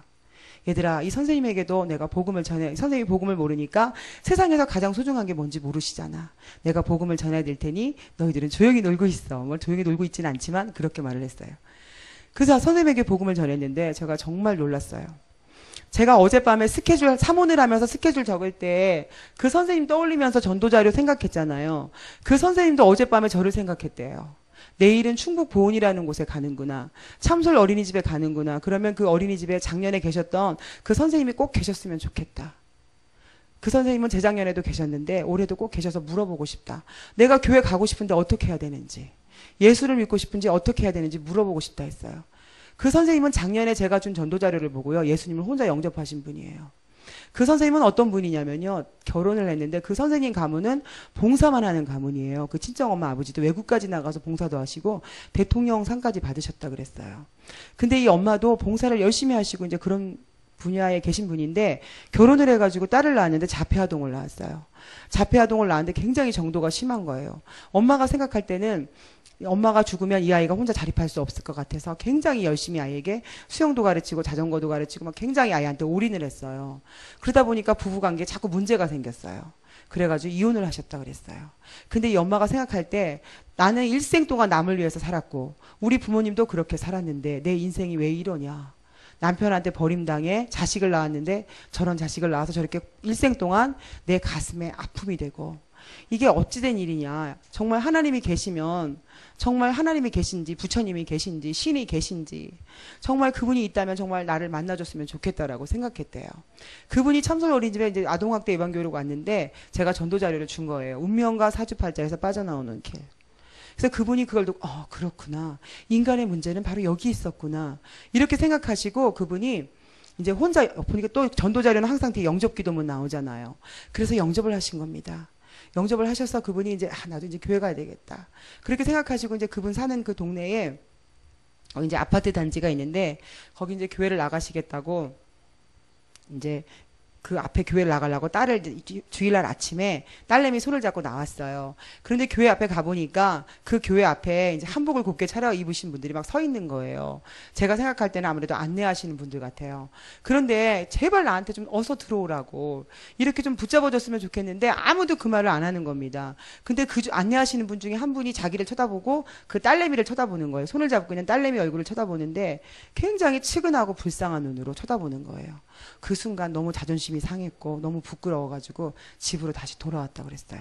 집으로 다시 돌아와서 그분이 생각했대요. 그래. 사람이 없어도 교회는 하나님이 계신 곳이니 내가 사람이 아무도 없을 때 밤중에 한번 가봐야 되겠다. 가서 기도라는 것도 해보고 하나님이 계신지 하나님을 만나 만나게 해달라고 한번 도움을 요청해야 되겠다. 그렇게 생각하고 그가 그분이 그 밤중에 이제 그 교회를 간 겁니다. 그런데 교회가 문이 잠긴 거예요. 그래서 들어갈 수가 없었어요. 그래서 그분은 그때 이제 포기를 한 겁니다. 그 이제 교회 다니는 것도 포기하고 예수 믿는 것도 포기했어요. 그렇게 포기하고 그분이 있다가 이제 그분이 시간이 흘렀는데 또 이제 내일 그분이 충북 보은이라는 곳에 참솔 어린이집이라는 곳에 이제 아동학대 예방교육 강사로 가야 되는데 그분이 어 내일 충북 보은에 가네 그러면 그 작년에 나에게 전도 자리를 주었던 그 선생님을 만나보고 싶다. 그 선생님이 계시면 내가 물어봐야 되겠다고 생각을 한 겁니다. 신기하죠. 저는 그 말에 가장 큰 충격을 받았어요. 스케줄. 그래가지고 그 선생님이 영접을 하셨는데 영접하시고 나서 그래요. 지금 바깥에 본고차 안에 그 기사가 있는데 총각인데 우울증에 굉장히 시달린다고 그랬어요. 그 총각이 자살 시도도 많이 했다고 그랬어요. 그 총각에게도 복음이 필요하다고 그랬어요. 그래서 이제 그 총각에게도 복음을 전했어요. 그 뒤로 그분들이 이제 이런저런 핑계로 보훈에 이제 그런 강의가 있으면 오셔가지고 이런저런 핑계로 해서 우리가 이제 계속 다락방을 한 했어요.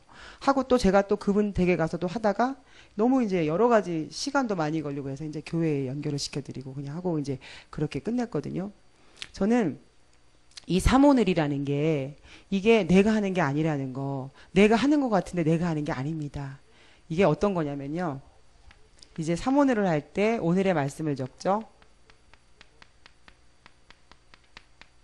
그러면 강단, 저희 교회 강단, 기도수천 말씀을 적습니다.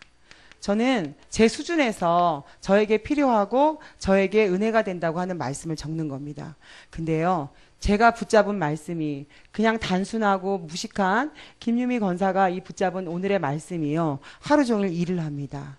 하루 종일 내 주위를 왔다 갔다 합니다. 그리고 내가 만나는 사람에게 내가 내가 문제를 만나고 환경을 만나고 사건을 만나고 고민을 만나면요. 내가 붙잡은 이 말씀이 일을 합니다. 문제를 해결합니다. 내가 붙잡은 말씀이 해답이 됩니다. 내가 붙잡은 말씀인데 내가 붙잡은 게 아니라 하나님이 나에게 주신 말씀인 겁니다. 그래서 말씀이 나에게 성취가 되는 거예요. 그래서 야 이건 내가 붙잡는 게 아닌가 보다. 하나님이 나에게 주시는 말씀인가 보다. 좀 그런 생각을 합니다. 내가 붙잡은 것 같은데 그게 아닌 겁니다. 기도 제목도 마찬가지죠.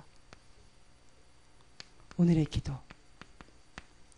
말씀을 붙잡고 기도하고 고민되는 걸 기도하고 또 걱정되는 것도 스케줄 놓고도 기도하고 이제 여러 가지를 기도하죠. 근데요.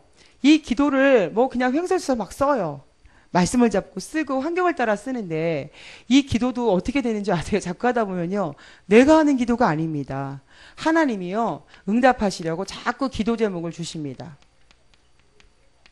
저는 옛날에 저는 이렇게 기도하는 사람이 아니었습니다. 근데 지금의 나는 기도를 하나님이 주신 기도 제목을 가지고 기도한다고 말할 수 있습니다. 왜 그러냐면 기도한 대로 다 응답이 되니까요. 그리고 내가 기도하는 순간에 가슴이 두근거립니다. 아, 하나님이 응답하시려고 나에게 이런 기도 제목을 주시는구나. 그걸 알 수 있어요. 근데 그 중에 하나가 뭐냐면 저희 보은 지역에 그 아주 유명하신 분이 계세요. 뭐 다른 걸로 유명한 게 아니라 이렇게 폭력 적으로 굉장히 유명하신 분이 계신데 그분은 굉장히 무서워가지고 군수님도 그분을 무서워한다 그랬어요. 그래서 그분은 굉장히 유명한데 그분이 굉장히 또 가난해요. 그분을 제가 어떻게 아냐면 그분이 가난함에도 불구하고 자녀가 여섯 명이에요. 그분 큰 딸이 저희 반인 거예요. 근데 그 얼마나 가난하냐면 단돈 만 원이 없어서 어린이집은 오는데 특별 활동을 못 해요. 소풍도 못 가고 견학도 못 하고 아무것도 못 해요. 그래서 저는 그 아이가 굉장히 눌려 있는 거예요. 그래가지고 이제 그 집을 방문했어요. 복음을 전하겠다고 방문을 했더니 아버지는 못 만났는데 그 엄마가 말하기를 우리 남편이 교회하면 아주 노이로제 걸렸으니 저기 말도 하시지 마 얼른 가라는 거예요. 남편이 싫어한다고. 그래가지고 입도 뻥끗 못하고 이제 다시 집으로 돌아왔거든요. 그분 둘째 딸 이제 큰 딸은 졸업해가지고 나갔죠. 둘째 딸이 저희 반이 되었어요. 셋째 딸이 저희 반이 되었어요. 다 나갔죠. 넷째는 아들입니다. 아들이 저희 반이 되었어요. 밑에 동생은 아랫반에 있고 아랫반에 이제 이렇게 있죠. 근데 이 넷째는 아들인데 완전히 누나들하고 다른 거예요. 누나들은 소, 굉장히 소심하고 여리고 눈치 보고 눌려 있는데 얘는 굉장히 와일드하고 가격하고 막 욕도 굉장히 잘합니다. 저는 막 이 아이가 건, 막 애들한테 뭐 욕을 너무 대바라지게 하니까 아이들이 기가 확 죽어요. 그래서 얘는 순식, 이게 순식간에 리더가 된 겁니다. 아무도 얘를 이기지 못해요. 얘는 얼마나 가격하냐면 애들을 싹 두드려 패고도 너 내가 때린 거야 만진 거야 이렇게 물어봐요. 그럼 애들이 눈치를 봐. 만진 거야. 그래 나는 때린 게 아니야. 만진 거야. 이렇게 해요. 애들 장난감을 확 뺏어 놓고요. 이건 네가 준 거야. 내가 뺏은 거야. 내가 준 거야. 그러면 얘를 혼내켜야 되는데 혼내킬 증거가 증거도 없고 증인도 없는 거예요. 완벽하게 알리바이를 구성해 놓는 거죠. 도무지 뭐 애들을 얼마나 두드려 패고 때리고 괴롭히고 이제 그러는 와중에 있 죠. 그래서 이 아이 때문에 항의 전화도 많이 오는데 저는 이 아이가 이럴 수밖에 없는 이유로 알고 있기 때문에 이제 늘 기도하고 있었거든요. 근데 어느 날 이제 아침에 전화가 왔어요. 저희 이사장님이 전화를 하셨어요. 7시에. 빨리 오래요. 어린이집 난리 났다고. 그래서 왜 그러냐 했더니 지금 이 아이, 이 남자아이 아빠가 어린이집에 오셨대요. 새벽부터 오셔가지고 사무실에 와서 어린이집 물건을 막 다 때려 부시면서 어린이집을 고발, 고발하겠다는 겁니다. 그러면서 막 빨리 와서 이제 해결하라고 그랬어요. 그래가지고 제가 이제 그 이야기를 왜 고발한대요? 그랬더니 그 아이가 친구한테 뺨을 맞고 왔는데 자기들이 얼마나 가난하고 없으면 선생님이 얼마나 무시하면 전화 한 통 안 하냐 이거죠. 아이가 뺨을 맞고 왔는데. 그래서 이 아이가 뺨을 맞아가지고 밤새도록 아파서 끙끙 앓았다는 겁니다. 그래서 이제 고발하겠다는 거, 아동 학대 폭력으로 연관해서 고발하겠다고 이제 그랬다 그랬어요. 저는 그 이야기를 듣고요. 이제 저희 집에서 어린이집까지 가는 동안에 차를 운전해서 가는데 15분 걸립니다. 15분 걸려서 가는 동안에 제가 무슨 기도했는지 아세요? 옛날에 저라면 저는 이렇게 기도했을 겁니다. 하나님, 하나님 영광 가리우잖아요. 문제가 잘 해결되도록 역사해 주세요. 사단의 권세가 결박되게 해 주세요라고 기도했을 겁니다. 근데 저는 신기하게도 그렇게 기도를 하지 않는 거예요. 제가 운전하면서 뭐라는지 아세요? 하나님 오늘 드디어 그날이 되었군요. 그 가정과 가문이 드디어 하나님을 만나는 날이 되었군요. 그 끔찍한 가난과 저주와 재앙에서 빠져나오게 해주시고 그 육남매가 이제는 해방되게 해주세요. 랩넌트로 자랄 수 있도록 축복해 주세요. 제가 그렇게 기도하면서 갔어요. 그리고 어린이집에 도착하니까 그 아빠가 딱 서 계신데 아 정말 그 아우라가 만만치 않은 거예요. 아, 보스가 제가 아버님한테 이제 사람들이 등원하는 시간이라 부모님들이 쳐다보니까 여기 있지 말고 저 옆에 벤치에 식물원에 있는 정원에 벤치에 가서 얘기를 하자. 그래서 그분을 모시고 갔어요. 그래서 아버님 왜 그러세요? 그랬더니 이제 그 뺨을 맞았다는 얘기를 하는 거예요. 그때 제가 그랬어요. 아버님 이 아이가 뺨을 맞았다고요? 이 아이가 뺨을 한 대 맞았다면 이 아이는 다른 아이 뺨 100대도 더 때렸어요, 아버님. 이 아이가 얼마나 친구들을 괴롭히고 못 살게 굴고 아이들 장난감을 빼앗고 저는 한 번도 이 아이를 원망한 적 없고 부모님께 항의 전화한 적 없어요. 왜 그런지 아세요? 이 아이가 이럴 수밖에 없는 이유를 저는 알고 있거든요. 그래서 이 아이를 가슴에 품었어요. 제 가슴에. 아버님 이 아이가 얼마나 말을 안 듣는지 아세요? 제 에너지가 다 이 아이한테 가 흐릅니다. 제가 얼마나 힘든지 아세요? 이 아이가 여기서도 이렇게 말을 안 듣는다면 집에서는 더 엄청날 건데 아버님이 감당도 못 하실 건데 끔찍하죠 아버님 그랬더니 맞대요. 딱 죽이고 싶다는 겁니다. 얼마나 말을 안 듣는지. 근데 어느 날 한날이요. 이 아이가 연립주택에 사는데 1층에 살거든요. 이 아버지가 어느 날 이 아이한테 뭘 시켰는데 이 아이가 말을 안 듣더랍니다. 그래가지고 계속 시켰대요. 반복해서 가져오라고. 그랬더니 아버지 말에 따르면 계속 깐죽깐죽거리면서 안 갖고 오더래요. 그래가지고 너무 화가 나가지고 자기도 모르게 가서 자기 아들을 번쩍 들어서 베란다 밖으로 확 던졌대요. 그 순간에 식구들이 막 비명을 지르고요. 이 아버지도 내가 미쳤구나. 이런 생각을 했고요. 엄마도 막 친구들도 이제 놀래가지고 쫓아나간 겁니다. 근데 마침 거기 바깥에 그 쓰레기 모으고 막 하는데 거기 쿠션 같은 거, 막 이불 같은 거 있는데 아이가 뚝 떨어진 거예요. 다행스럽게. 얼마나 다행이에요. 그래서 식구들이 막 이 아이를 불렀어요. 누구야, 누구야, 빨리 일어나서 막 부르니까 갑자기 이 아이가 뻘떡 일어나가지고요. 아버지한테 딱 삿대질을 하면서 말을 했어요. 아빠 기다려. 내가 꼭 아빠 죽이고 말 거야. 아빠는 마귀 자녀야. 아빠는 지옥 가야 돼. 아빠 지금부터 엄마 다시 한 번만 때리면 내가 가만히 안 있을 거야. 그렇게 말을 하더래요. 꼭 죽일 거라고 아빠를. 그때 그 아빠가 너무 무섭고 두렵고 그런 생각이 들었고요. 아버님이 또 그러시더라고요. 야, 내가 이러다 술 먹고 잠들면 어느 날 우리 아들이 주방에 가가지고 부엌 가려대 심장을 그러면 내가 죽, 죽는 것도 죽는 거지만 우리 아들이 또 나처럼 갔다 오겠구나. 이런 이런 문제를 가지고 있겠구나. 아버님 그런 것들이 대물림입니다. 거기서 빠져나오는 길이 있어요. 제가 아버님 큰딸 담임이었어요. 둘째 딸 담임이었어요. 셋째 딸 담임이었어요. 넷째 아들 담임이에요. 아버님 알고 계셨어요? 몰랐대요. 아버님 인생이 바뀌셔야 돼갖고 제가 아버님 댁에 갔었는데 아버님이 교회 싫어한다고 하시더라고요. 싫어하지 않는데요. 총각 때도 교회를 다녔고 성가 때도 했다는 거예요. 세례도 받았다는 겁니다. 그런데 지금은 형편이 너무 안 좋고 사는 게 엉망진창이 돼가지고 교회를 다닐 수가 없고 옛날에 다녔던 그 교회 목사님이 지금도 어, 전화를 한대요. 그리고 메시지를 주시고 막 기도하신다고 이제 그렇게 한다는 겁니다. 그래서 그럼 아버님 예수 그리스도에 대해서 아시겠네요? 모른대요. 교회는 다니셨는데 모른다는 거예요. 그래서 이제 복음을 전했는데요. 아버님이 영접을 하시더라고요. 근데 영접하실 때 어떻게 하셨냐면요. 분명히 우리가 그 의자에 앉아가지고 복음을 전했는데 아버님이 그 흙 바닥에 무릎을 꿇고 앉으시더라고요. 그럼 자기는 너무 큰 죄인이라고요. 그래서 영접을 하셨어요. 그리고 영접을 하시고 나서 아버지가 저에게 말했어요. 선생님, 나 이제 어떻게 해야 되냐고 물어봤어요. 뭘 어떻게 해요? 이제 교회 나오시면 되죠. 그랬더니요. 자긴 교회 나올 수 없대요. 지금 환경이 교회 나올 수가 없고 자기는 장남이고 그러면 일단 아버님 아버님의 사랑스러운 육남매를 교회 보내세요. 육남매를 먼저 교회 보내고 그 다음에 아버님 집에서 성경 공부를 해요. 내가 아버님 댁에 방문해서 날마다 이 말씀을 가르쳐 드릴게요. 그러면 아버님이 말씀을 듣다가 믿음이 생기면요. 환경이 바뀌어요. 그래서 교회 나올 수 있는 환경도 생기고 세상을 이길 수 있는 환경도 생기고 지금까지 막혔던 문들이 열리게 될 겁니다. 그랬더니 너무 감사하다고 이제 그러셨어요. 그리고 저는 이제 그 주, 그 돌아오는 주일을 맞이하게 되는데 생각이 들었어요. 야, 과연 육남매가 교회 나올까? 그 사이에 사단이 역사했으면 또 어떨까? 이런 생각들을 해보고요. 또 아이들이 평상시 때 옷차림이 많이 남루하고 굉장히 어려웠거든요. 이 아이들이 교회 나오는 날만큼은 조금 단정하게 하고 오면 좋겠다라고 생각을 했어요. 그러면서 아이들이 제발 교회 나와야 될 텐데. 그런 이제 마음을 가지고 이제 차를 끌고 막 갔어요. 갔는데 연립주택 앞에 딱 도착했는데요. 아, 정말 그 풍경은 잊을 수가 없어요. 꼭 무슨 그림 같은데요. 육남매가 서 있고요. 할머니도 나와 서 계시고요. 엄마 아빠도 서 계셨어요. 그날에는 배웅하려고요. 그리고 그 아이들이 지금까지 볼 수 없었던 굉장히 단정하고 말쑥한 그런 옷차림으로 이렇게 있더라고요. 그리고 아이들이 다 천 원 한 장씩 들고 있더라고요. 아빠가 옛날에 교회 다니셨기 때문에 헌금을 해야 된다는 그런 이제 센스가 있으셨던 거죠. 그래서 아이들이 교회를 나오는데요. 여전히 조금 뭐 누가 남들이 보면 여전히 욕도 잘하는 것 같아요. 물론 이제 큰 누나는 중학생인데 지금 이제 그렇게 해서 1년이 됐어요. 딱 1년이 됐는데 아이들은 남이 보면 잘 모르는 사람이 보면 여전히 말썽을 부리는 것 같고 사고 치는 것 같고 욕도 잘하는 것 같은데 아이들이 많이 바뀌었어요. 많이 바뀌었는데 어떻게 바뀌었는지 아세요? 이상하게 재밌대요. 말씀이에요. 제가 주, 이제 지교회에서 아이들을 remnant 지교회를 하고 있는데요.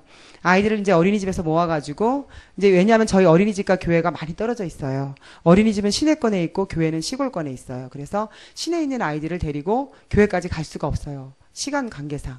거리가 멀어가지고. 그래서 이제 어린이집에 모여가지고 예배를 드리다가 지교회로 임명을 받았어요. 그런데 이제 아이들을 하다 보면 이제 아이들에게 메시지를 하면 길게 할 수는 없어요. 보통 30분 정도 메시지를 하는데요. 막 힘들어 하잖아요. 지루하고. 여러분은 어때요? 말씀 들으실 때 늘 재밌어요? 얘들은 재밌대요. 아, 재밌어. 이렇게 빨리 끝나. 어, 재밌어. 막 그래요. 재밌다 그러고 그 막내는요 맨날 저를 이제 저희 반이 아니니까 이렇게 지나가다가 툭툭 치면서 만나잖아요 화장실에서도 만나고 놀이터에서도 만나죠 어린이집에서 그럼 맨날 물어봐요 제가 어린이집 선생님인데도 뭐라는 줄 알아요 교회 선생님 교회 선생님 교회 가는 날 어린이집 교회 가는 날 몇 밤 자야 돼요 아유 아직도 많이 남았네 어린이집 교회 가는 날 몇 밤 자야 돼요 막 그러더래요 한 번은 저희 열매반에서 있는데 그 아이가 이제 저희 반도 아닌데 저희 반에 왔던 거예요. 근데 저희 반 아이들은 시대 활동한다고 다 나갔어요. 근데 신학원에서 본부에서 저기가 간사님이 전화를 하신 거예요. 얘가 딱 받은 거예요. 받아가지고 그러더래요 간사님한테. 저기요 우리 선생님 밑에 계시거든 잠깐만 기다리세요. 제가 바꿔드릴게요. 그러면서 이건 선생님 선생님 중요한 전화 같아요. 꼭 받아야 될 것 같아 자기가 가져왔대요. 지금 남의 교실까지 와가지고 그래가지고 그 전화기를 저한테 갖다 주는 거예요. 그렇게 아이가 전에는 그런 아이들이 아니었어요. 늘 눈치 보고 놀리고 막 그랬던 아이들인데 아이들이 그렇게 밝고 명랑해지고 찬송도 늘 찬송을 해요. 우리가 어린이집 하시는 분들은 평가 인증이 뭔지 아실 겁니다. 관찰자 두 명이 와가지고 하루 종일 따라다니면서 감사를 해요. 어린이집을 똑바로 주제에 맞게 잘 가르치고 있나. 안전하게 잘하고 있나. 아주 심장이 터지기 직전이죠. 저희가 평가 인증을 한 세 번 했는데 올해 평가 인증 하는데요. 하, 애들이 주제에 맞는 지금 기계와 생활에 대해서 이제 계속 배우고 있고 그 공부를 하고 있거든요. 계속 노래는 몸찬양을 그 노래 언약과 그 꿈 노래라는 거야. 나는 나는 랄랄라 이 시대의 주인공. 너는 언약의 자녀. 아우, 아침에 일어나서 무슨 생각하나요? 아유, 계속 하는데 뭐 이거 못 말립니다. 애들이 그렇게 찬양을 좋아하고 매일 기다립니다. 어린이집 교회 가는 날이 언젠가. 계속 이제 그렇게 기다리게 아이들이 그렇게 늘 치유되고 바뀌고 있고요. 그 아버지는 아직까지도 교회를 못 나오세요. 계속 다락방을 하는데 이 복음 편지를 굉장히 좋아하세요. 아버님 때문에 제가 복음 편지를 다 외웠어요. 전에는 그 편지를 또 하재요. 원래 세상명 세상말로 넘어갔으면 좋겠는데 너무 좋대요. 특별히 네 번째 만남. 왜 우리에게 예수만이 길이 되는가? 그거는 대박이래요. 이분 말에 따르면은 대박이래요. 저는 이분이 굉장히 무서운 분이고 위협적인 분이라서 세상에 무서운 게 없는 줄 알았어요. 이분은 다락방에 딱 30분 동안 말씀을 듣는 그 30분의 말씀을 들으면 출근할 수 있는 힘이 생긴대요. 세상이 굉장히 무섭고 사람이 무서웠대요. 그리고 모든 것이 두려웠대요. 그런데 이길 힘이 생기고 용기가 생긴다고 얘기하셨어요. 이분이요. 어떤 날 한번 저한테 문자를 보냈어요. 보통 사람들은 저한테 문자를 보낼 때, 뭐, 오늘 다락방은 이번 주에 무슨 일이 있어 다락방을 못 합니다. 그래서 다락방 하시는 분들 뭐 오시지 마세요. 이번 주는 쉽니다라고 이제 문자가 가끔 올 때가 있어요. 근데 이분은 저한테 어떤 문자를 보냈냐면, 선생님, 저는 말씀을 들어야 사는 사람입니다. 이번에는 다락방을 시간이 없어서 못 하겠는데, 제가 시간이 딱 한 시간이 있대요. 그때가 언제냐면 새벽 6시인 겁니다. 그때 해주실 수 있느냐는 겁니다. 와서. 해야죠. 어떡해요. 그쵸? 가서 했다니까는요. 그래서 이분은 워낙 그런 분이라 그 주변 분들은 아무도 다락방에 올 수가 없어요. 오지도 않고. 근데 시, 버스를 15분 거리, 20분 거리 사는 그분의 누나, 그분의 형님, 그분의 엄마가 다 영접을 했어요. 이분이 오라 해가지고 영접을 했어요. 이제 언제 가문 보고가 이뤄질까 지금 기대가 되는데 하여튼 그래요. 그리고 이분은 말씀을 듣잖아요. 우리는 말씀을 들으면 뭐 아멘, 뭐 이렇게 끄덕거리잖아요. 이분은 어른들 대박, 진짜요? 진짜요? 막 이래요. 그건 의심스러워서 진짜라고 물어보는 게 아니라 너무 놀라워서 너무 신기해가지고요. 진짜냐는 거예요. 야, 하나님이 정말 멋있다고 대단하다고 늘 이제 그렇게 고백을 하죠.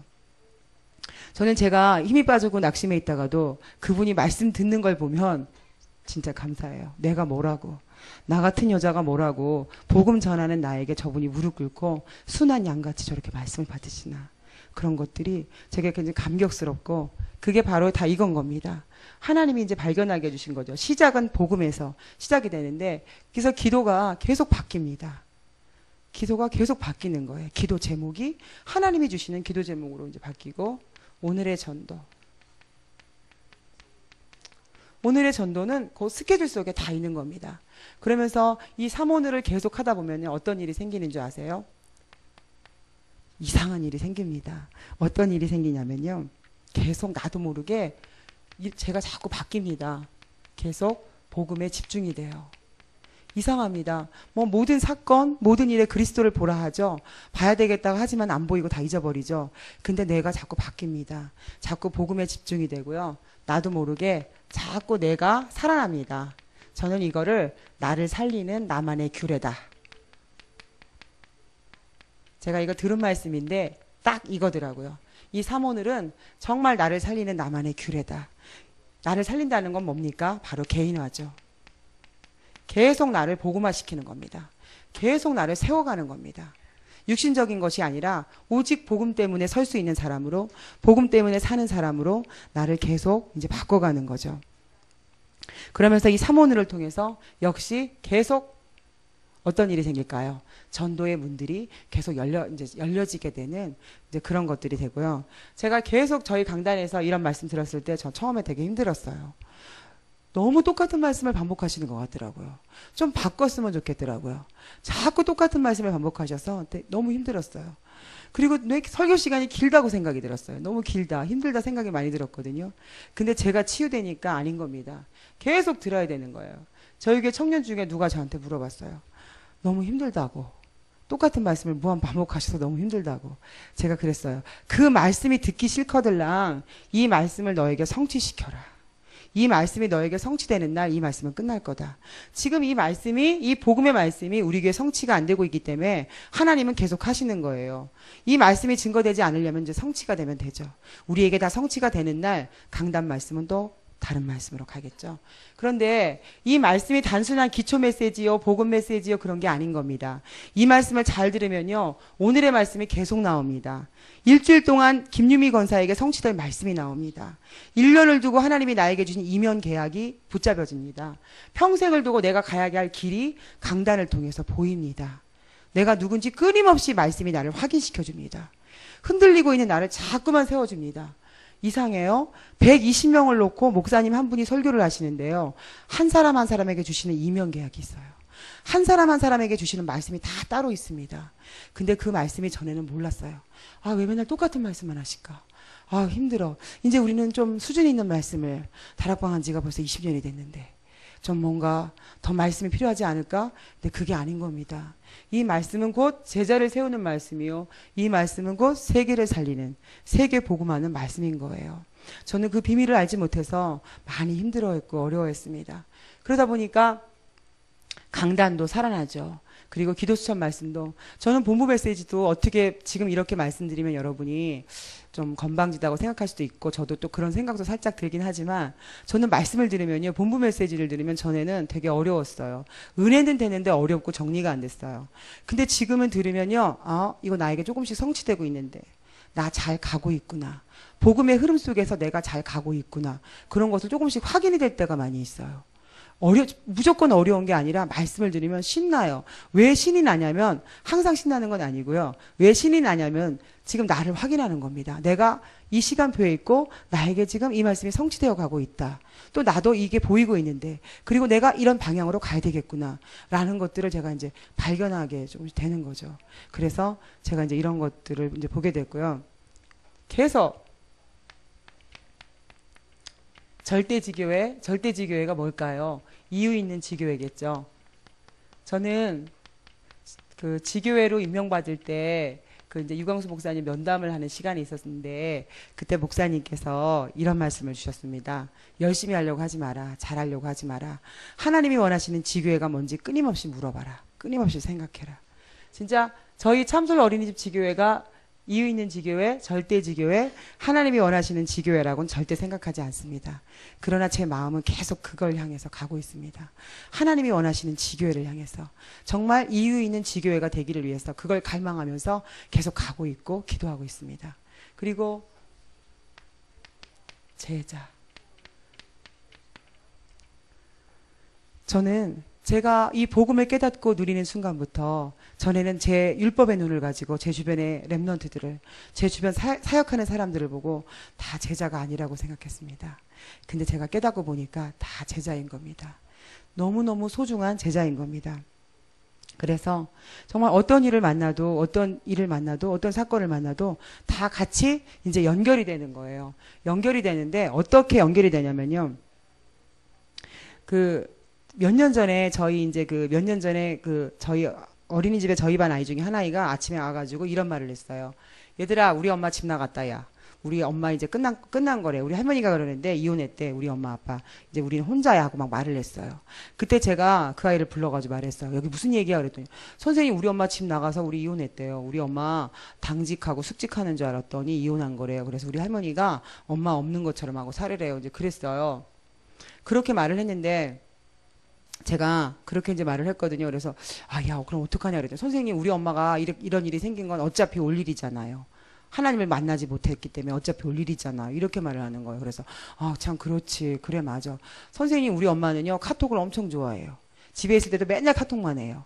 선생님이 카톡으로 복음을 전해주세요. 이렇게 말을 했어요.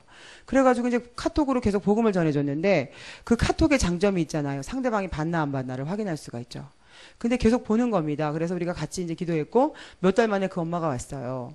몇 달 만에 이제 그 엄마가 왔는데 몇 달 만에 이제 그 엄마가 와가지고 이제 제가 같이 다락방을 해가지고 이제 말씀 운동이 열렸는데 그러고 있다가 이제 엄마가 막 이제 살아났어요. 회복이 돼가지고 막 이제 힘을 얻고 있는데 또 막 이제 계속 부부 관계가 안 좋아졌어요.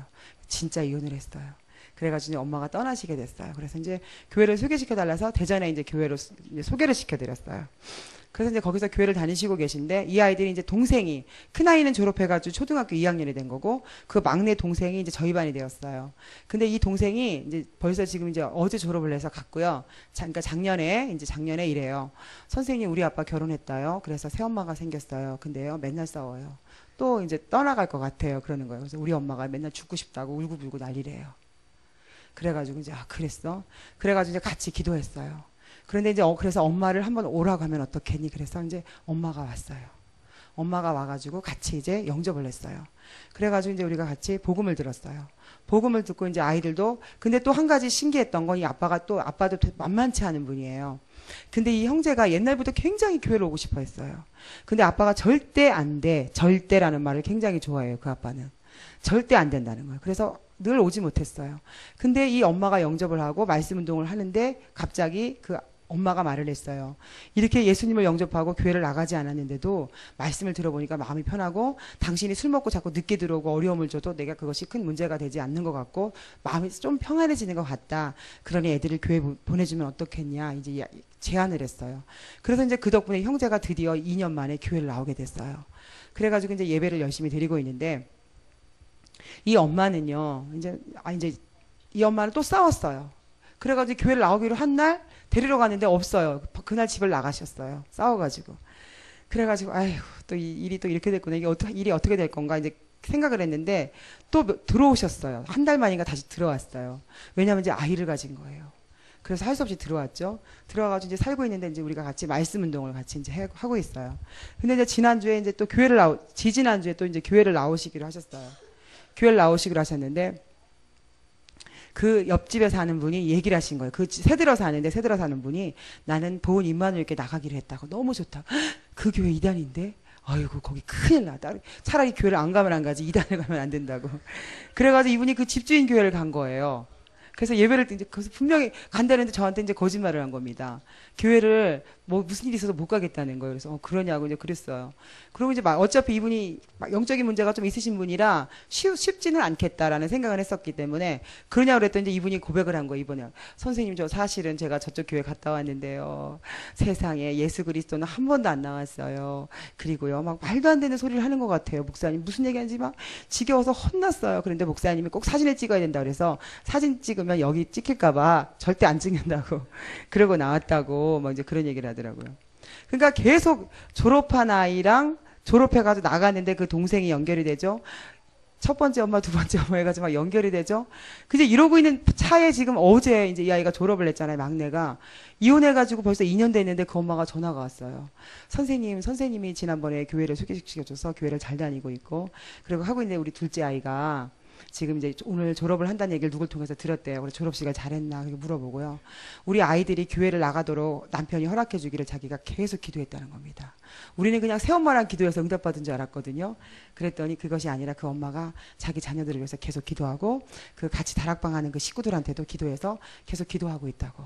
그리고 자기가 복음을 깨달으면 깨달을 수 있도록 깨달을수록 선생님이 너무 소중하고 귀해서 자기 남편도 부탁한다고.